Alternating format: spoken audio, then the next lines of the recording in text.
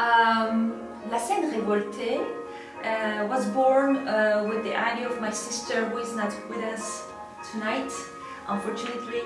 Um, she had the idea to put together the music and the picture. And we had the chance to meet Fabrice Alagnou and uh, we had uh, we decided together the program which was in 1912 and 13 with Debussy and Stravinsky, who had a lot of uh, cultural revolution in France. And that's why we named it La Scène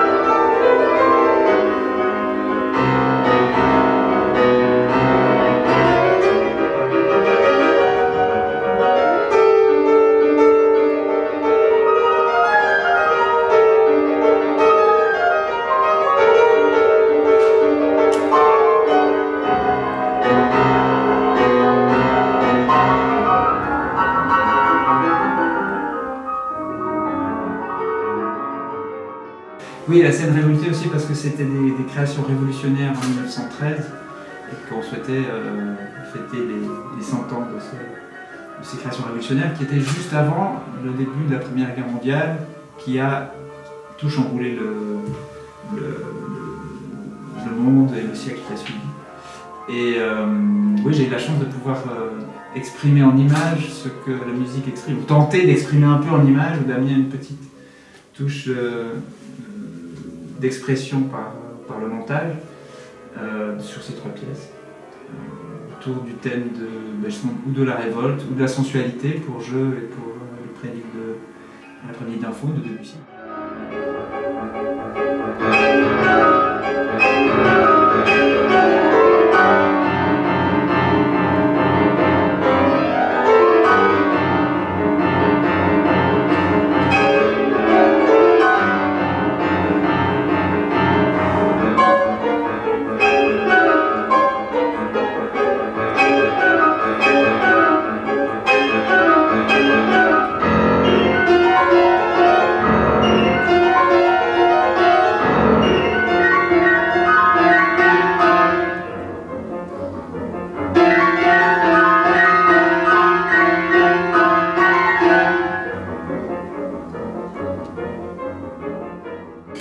Devais prendre la décision vraiment tout de suite parce que comme on n'avait pas beaucoup de temps et moi j'avais aussi déjà des choses que, que prévues.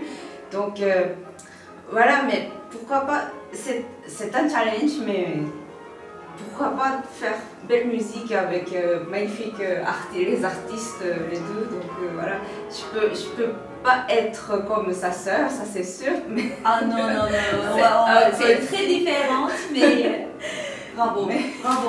Mais voilà, je fais, euh, je fais ce que je peux. euh, voilà, c'est-